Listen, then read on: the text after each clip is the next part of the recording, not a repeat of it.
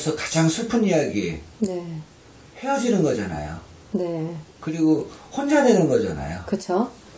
그래서요 남녀간의 이별수나 공발상 같은 것도 음.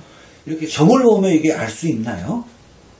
어, 연월일 씨, 면제 만나서 언제 헤어질 거다라고까지는 안 나올 수는 있어도, 네. 네, 대략 어느 정도면 이 인연이 끝나겠다. 어, 이 시기를 지나면 정말 혼자 있겠구나. 네, 그런 거는 보죠. 그럼 슬프지 않나요? 사람을 만나더라도 헤어지는 걸 전제로 만나게 되는 거 아닌가요? 어, 그렇죠.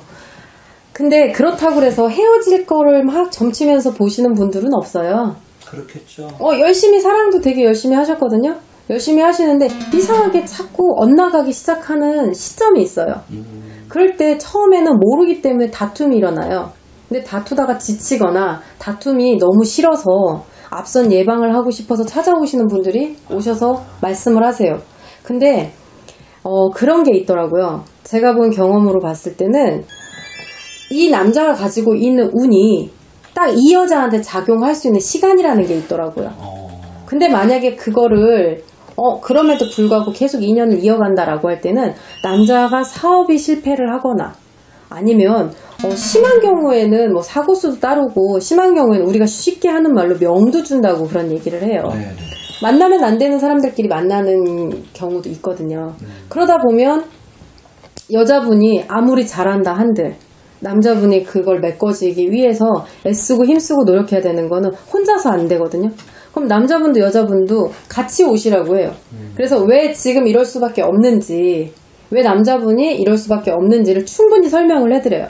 근데 그런 분들이 흔하게 하시는 말씀이 그러면 우리는 살아야 되니까 난 이 사람 없으면 안 되니까 구술해 주세요. 방법을 찾아 주세요. 음. 라고 얘기를 하는 경우도 있어요. 구술해서 되는 경우도 있어요. 왜냐?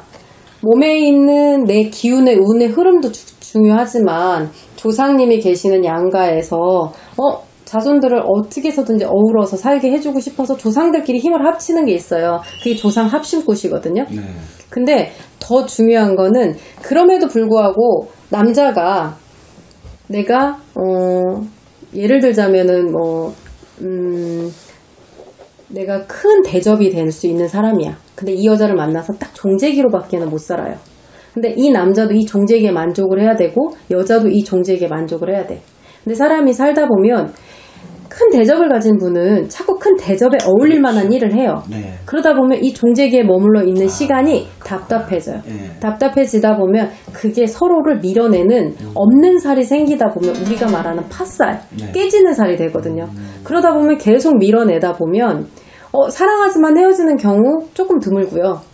알면서 헤어지는 경우 좀 드물고요. 싸웠기 때문에 알기 때문에 너하고는 정말 아니야.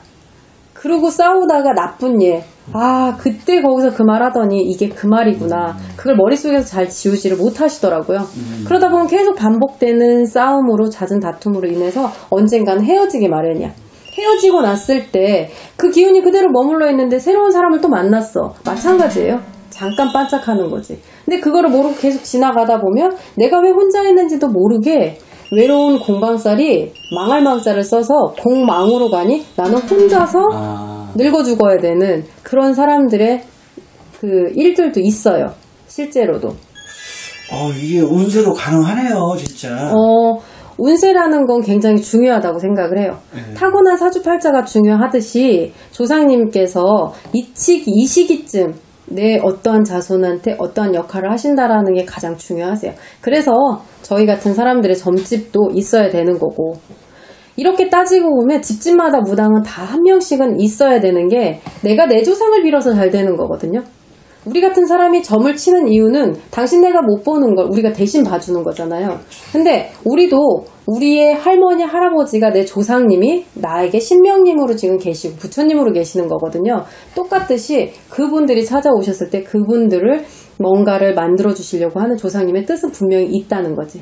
그래서 아무리 궁합에는 이상이 없어. 조상이 안 맞으면 못 살아요. 그래서 그게 우리가 놓는 해방을 놓는다, 희살 놓는다, 액살 놓는다. 그렇게 되는 거거든요. 근데 그 흐름에 내가 해야 되는 역할도 되게 중요하기는 하더라.